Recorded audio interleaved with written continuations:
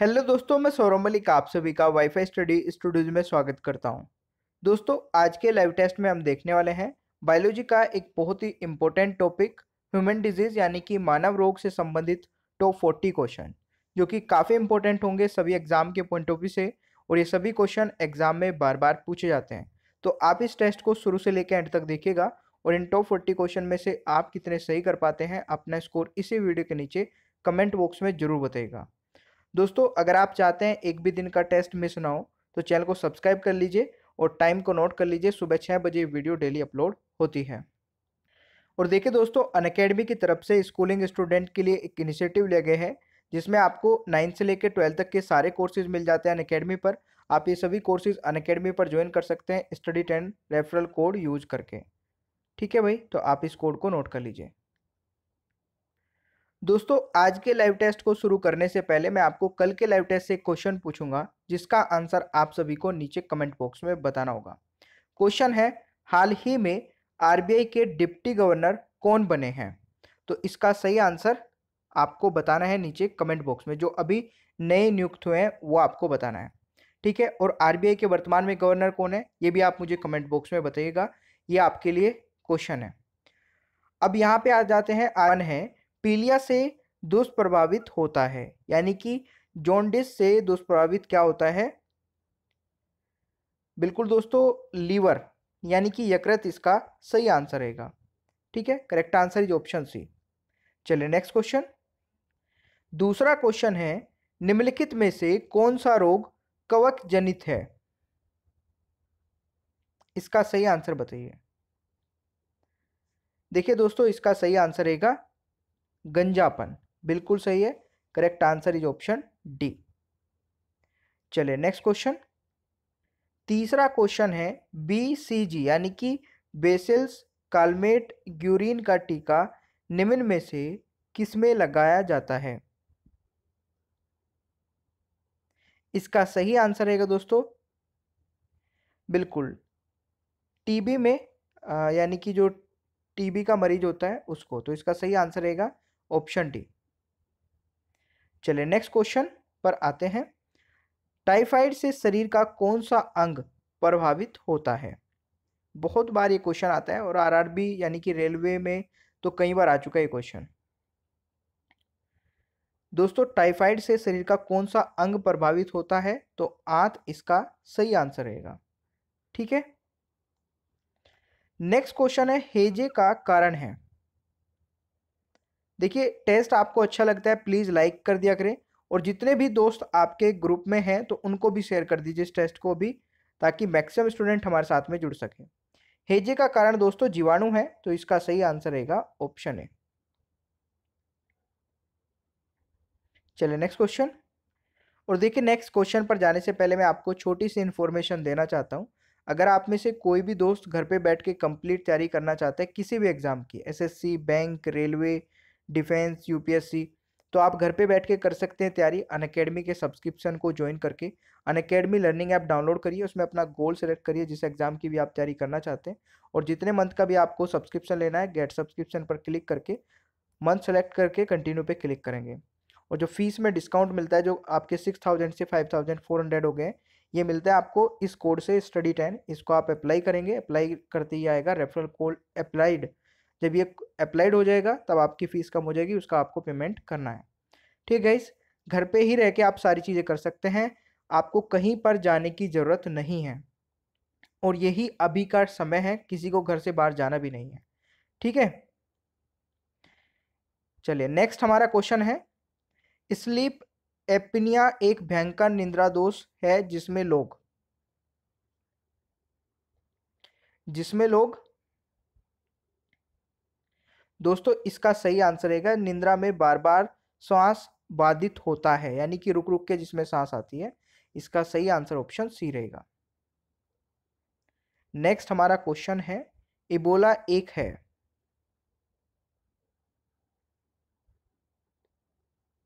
बिल्कुल दोस्तों, इसका सही आंसर रहेगा प्राण घातक विषाणु, इसका सही आंसर ऑप्शन बी रहेगा।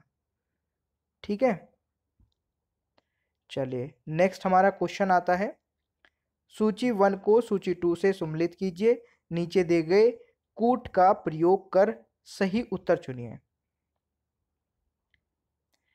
तो देखिए, यहाँ पर आपको बताना है। बिल्कुल ऑप्शन ए प्लेग का जीवाणु हो जाएगा, ठीक है? और आपका एड्स का हो जाएगा विषाणु, ठीक है? गंजापन अभी मैं आपको बता के आया था ऊपर, कवक। ठीक है, और मलेरिया प्रोटोजोआ। तो यहाँ पे इसका सही आंसर ऑप्शन ए जाएगा, पहले का फोर्थ। हाँ यही हो जाएगा। ठीक है गाइज़ तो ये आप नोट कर लीजिए। ऐसे क्वेश्चन बहुत सारे आते हैं। ठीक है? इसको भी बताइए। सूची वन को सूची टू से सम्मिलित कीजिए। और नीचे दिए गए एक कूट का प्रयोग कर सही उत्तर चुनिए। बिल्कुल। देखिए, यहाँ पे इसका सही आंसर क्या रहेगा? मेरिस्मस दीर्घकालीन उपवास। हाँ ठीक है। और यहाँ पे भाई टीबी का हो जाएगा, बिल्कुल ये भी इसके सामने है, ये भी सही है तो ये इसका हो जाएगा। तो मतलब जो जिसके सामने लिखा है वही है, पहला, दूसरा, तीसरा, चौथा, इसका ऑप्शन ए रहेगा। आपका भी यही आ रहा है ना? चलिए, कोई बात नहीं नेक्स्ट क्वेश्चन पे चलते हैं। और नेक्स्ट है एड्स निम्न में से किस रोग नाम का संक्षिप्त रूप है? जल्दी बताइए। Acquired immune deficiency syndrome. बिल्कुल, ऑप्शन सी इसका सही आंसर रहेगा, प्यारे दोस्तों। नेक्स्ट हमारा क्वेश्चन है, एड्स विषाणु के लिए सबसे ज़्यादा आजमाई गई दवा है। दोस्तों, इसका सही आंसर रहेगा। जीडो वुडीन बिल्कुल सही है। ऑप्शन रहेगा ए, राइट आंसर। चलिए, नेक्स्ट क्वेश्चन। दूर दृष्टि दोष। यहाँ पे दूर दृष्टि दोष होगा, दृष्टि दोष नहीं। दूर दृष्टि दोष के निवारण के लिए उपयोग किया जाने वाला लेंस यानी कि हाइपर माइट्रोपिया के निवारण को निवारण के लिए कौन सा लेंस उपयोग किया जाएगा? बिल्कुल दोस्तों उत्तर लेंस रहेगा, यानी कि कॉन्वेक्स लेंस। ठीक है, करेक्ट आंसर इज़ ऑप्शन है। उत्तर लेंस, यानी कि इंग्लिश में बोलते हैं कॉन्वेक्स। नेक्स्ट है, शरीर के अंदर लोहों की कमी से उत्पन्न होने वाला रोग है। हाँ बिल्कुल सही है। एनीमिया यानी कि रक्तहीनता ऑप्शन रहेगा ए राइट आंसर।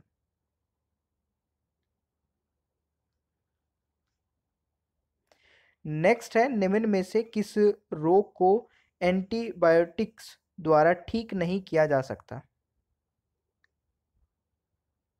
जल्दी बताइए। खसरे को, ठीक है दोस्तों, खसरा यानी कि मिसल्स, इसका सही आंसर रहेगा। तो इसको नहीं ठीक किया जा सकता है एंटीबायोटिक से। नेक्स्ट है, निम्न में से कौन सा जल जनित रोग है? तो जल जनित रोग है दोस्तों, हेजा। ठीक है, करेक्ट आंसर रहेगा ऑप्शन सी। टाइफाइड विशिष्ट उदाहरण है। तो टाइफाइड विशिष्ट उदाहरण है दोस्तों किसका? जल जन रोगों का। करेक्ट आंसर ऑप्शन सी रहेगा। नेक्स्ट है, निम्नलिखित रोगों में से एक जो पानी के प्रदूषण की वजह से नहीं है। तो प्यारे दोस्तों, इसका सही आंसर रहेगा। हेपेटाइटिस बी ठीक है? ऑप्शन रहेगा बी राइट आंसर। निम्नलिखित में से कौन सा बर्ड फ्लू विषाणु है? तो इसका सही आंसर रहेगा एच फाइव एन वन बिल्कुल सही है दोस्तों। नेक्स्ट क्वेश्चन आता है एच वन और एन वन विषाणु प्राय समाचारों में निम्नलिखित में से किस एक बीमारी के संदर्भ में उल्लेख किया जाता है? तो ये आप सभी का आ, आ, सही आंसर आना चाहिए। स्वाइन फ्लू दोस्तों इसका सही आंसर रहेगा। Correct answer is option D.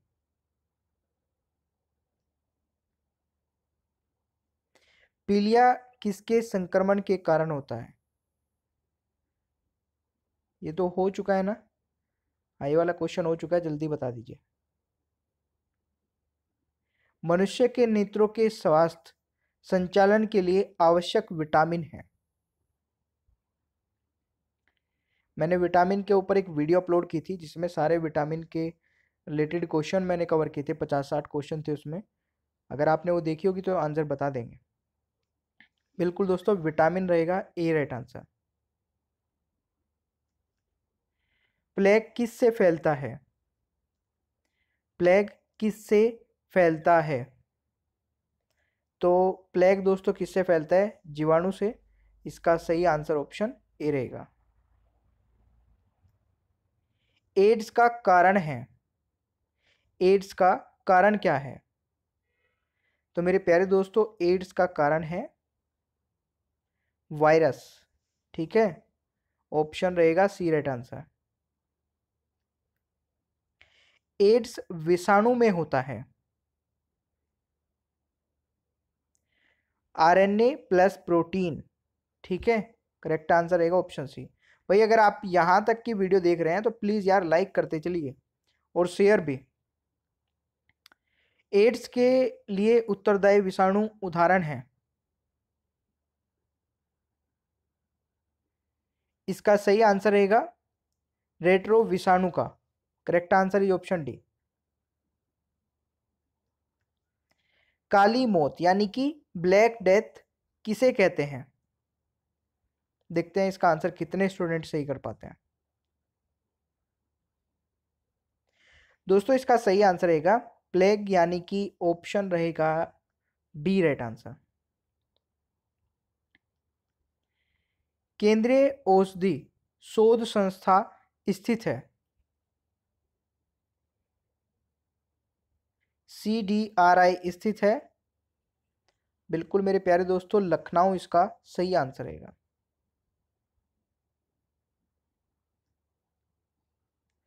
निम्न में से कौन सा रोग जीवाणुओं के कारण उत्पन्न होता है?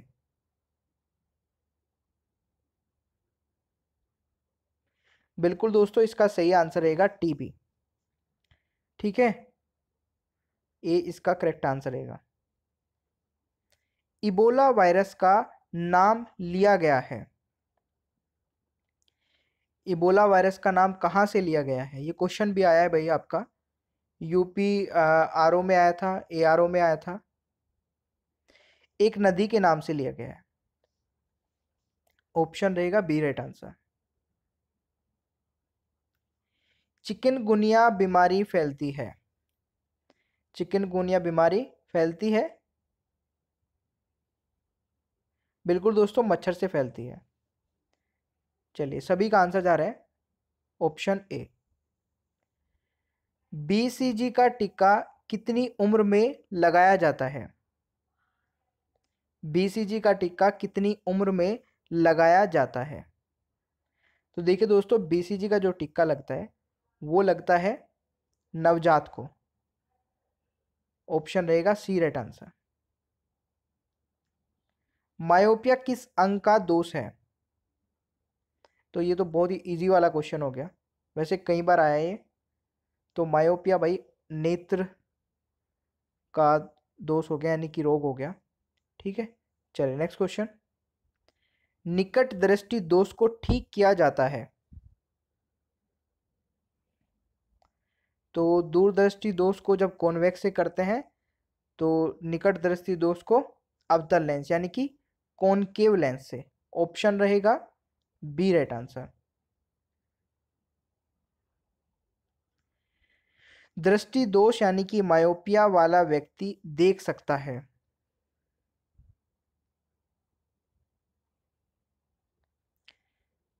इसका सही आंसर रहेगा, निकट स्थित वस्तुओं को स्पष्ट रूप से देख सकता है। करेक्ट आंसर ये ऑप्शन है। एलिसा परीक्षण किया जाता है। एलिसा जो जाँच है, वो किया जाता है किसकी पहचान करने के लिए? दोस्तों, इसका सही आंसर बताइए। तो इसका सही आंसर रहेगा एड्स पहचान के लिए। करेक्ट आंसर जो ऑप्शन है। नेक्स्ट हमारा क्वेश्चन कह रहा है, खसरा यानी कि मिसल्स की बीमारी होती है। और ये बीमारी होती है वायरस से। इसका भी करेक्ट आंसर ऑप्शन ए रहेगा। नेक्स्ट है, मिनी माता रोग शरीर में किस धातु की हानिकारक हानिकारक मात्रा के कारण होती है? मिनी माता आपने सुना होगा और इसको बोलते हैं चिकन पॉक्स पारा मरकरी, ठीक है ना?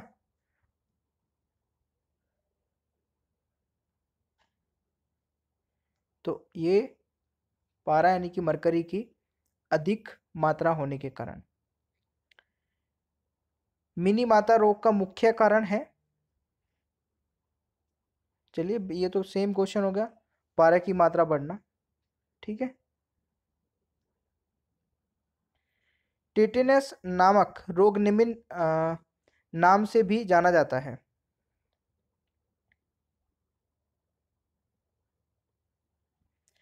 तो इसका सही आंसर रहेगा लोकजा यानी कि ऑप्शन रहेगा सी, राइट आंसर। ठीक है? करेक्ट आंसर ये ऑप्शन सी। तो मेरे प्यारे दोस्तों, आज की वीडियो में ये चालीस क्वेश्चन थे। अगर आपको ये वीडियो पसंद आई है तो प्लीज़ इसको लाइक करिए, अपने दोस्तों के साथ में शेयर करिए और सुबह छः बजे मैं डेली वीडियो लेके आता हूँ। आप पीडीएफ डाउनलोड कर सकते हैं टेलीग्राम से, टेलीग्राम पे सौरभ सर जी के सर्च करना, वहाँ पे आपको सारी पीडीएफ नोट्स मिल जाएँगे। ठीक है, आप मुझे इंस्टाग्राम और फेसबुक पर भी फॉलो कर सकते हैं। अपना स्कोर बता दीजिए कमेंट में कि आपका स्कोर क्या रहा है चालीस क्वेश्चन में से। और वाईफाई स्टडी की तरफ़ से दो नए चैनल लॉन्च किए गए हैं। एक तो लाइव टेस्ट और एक डिफेंस एग्ज़ाम के लिए। दोनों के लिंक नीचे डिस्क्रिप्शन बॉक्स में है तो आप इन दोनों चैनल को सब्सक्राइब कर लीजिए और अच्छे तरीके से यहाँ पर भी वीडियो देखना स्टार्ट करिए। फिर मिलते हैं नेक्स्ट वीडियो में। तब तक के लिए टेक केयर वीडियो को देखने के लिए बहुत बहुत धन्यवाद। आपका दिन शुभ हो।